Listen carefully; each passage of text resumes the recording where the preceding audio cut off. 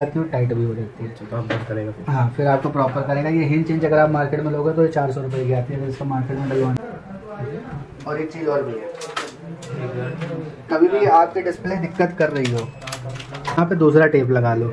इसको ऐसे लगा के ऐसे टाइट करके ऐसे यहाँ पे चिपका दो। तो ये टाइट रहेगी। अगर ये लूज होगी ना तो डिस्प्ले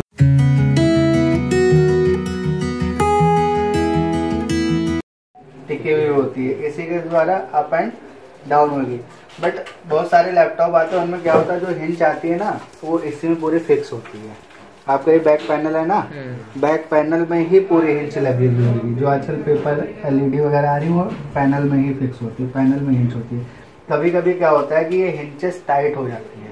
टाइट क्या कि लैपटॉप खुल नहीं रहा है और कस्टमर क्या करता है उसे ज़बरदस्ती खोलता है तो यहाँ से वो उखड़ जाता है। नीचे के बेस वेस सारे सब टूट जाते हैं। अगर हिंचेस टाइट हो गई हैं तो आप क्या करोगे?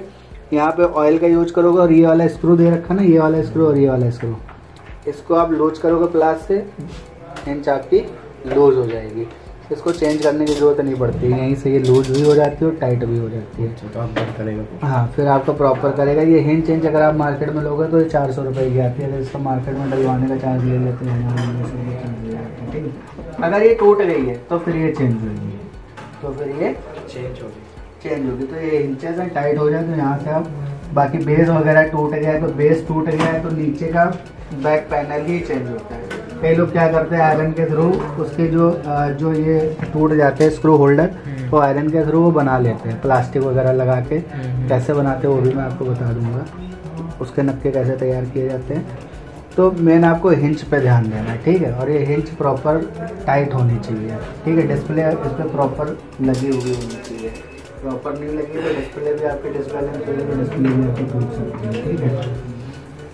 अलग अलग लैपटॉप में अलग अलग हिंचेस आती हैं, मेरी डिस्प्ले ठीक है? तो इसको हम फिक्स करेंगे, ये हमारी सी सी एप्पल वाली डिस्प्ले है। और और एक चीज़ और भी है। कभी भी आपकी डिस्प्ले दिक्कत कर रही हो तो इसके अंदर भी एक सर्किट होता है। इस सर्किट को भी हम चेक कर लेंगे नॉर्मल लेवल पे तो यहाँ से भी डिस्प्ले रिपेयर हो जाती है। इसमें तो अलग से दे रखा है उसमें यहीं पर अलग से सी सी एप्पल का सर्किट दे रखा होगा वहाँ पे फ्यूज़ कॉइल वगैरह लगी होती हैं वो ख़राब हो जाती है। अगर उसका फ्यूज़ ख़राब हो गया तो पूरी एलसीडी ख़राब हो जाएगी लाइट ही नहीं आएगी एक फ्यूज़ की वजह से। उस फ्यूज़ को हम चेंज कर देंगे डिस्प्ले प्रॉपर ऑप्शन हो जाएगी रिपेयरिंग का मार्केट बन तो पंद्रह सौ अठारह सौ। नहीं आप पेपर एल आज की डेट में खरीदोगे जाके नॉर्मल चालीस पिन की खरीदोगे अगर समथिंग पैंतालीस सौ पचपन सौ ऐसे होते हैं क्या थोड़ी सी दिक्कत हुई होती है? ही हाँ ओके ओके ही हो जाती है कंपोनेंट की वजह से पूरी डिस्प्ले खराब है तो इसको भी आप रिपेयर कर सकते हो। बिल्कुल। ठीक है? तो अब इसको लगाओ टाइट करो इसका कनेक्शन लगाओ एल लगाओ इसको चेंज टाइट करो लगाओ सर आप। ये एल कनेक्टर है ठीक है? यहाँ से भी दिक्कत आ जाती है लूज हो जाता है तब भी डिस्प्ले नहीं आती। है अब देखो क्या होता है ये कनेक्टर के साथ एक टेप लगा हुआ होता है। जब आप डिस्प्ले चेंज करोगे ना तो ये टेप क्या होता है एक बार निकालोगे तो ये थोड़ा सा हल्का पड़ जाता है। तो आप कोशिश करो यहाँ पे दूसरा टेप लगा लो। इसको ऐसे लगा के ऐसे टाइट करके ऐसे यहाँ पे चिपका दोगे तो ये टाइट रहेगी। अगर ये लूज होगी ना तो डिस्प्ले नहीं आएगी। आपकी एक्सटर्नल डिस्प्ले तो आएगी लेकिन इंटरनल डिस्प्ले नहीं आएगी तो केबल लूज होने की वजह से नहीं आएगी। ठीक है? तो इसको भी आपने ध्यान देना। लगाओ अब यहाँ पे इंच पे कसो।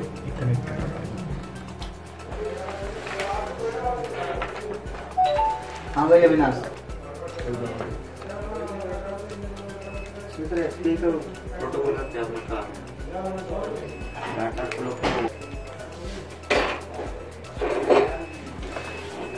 ये पेज स्क्रू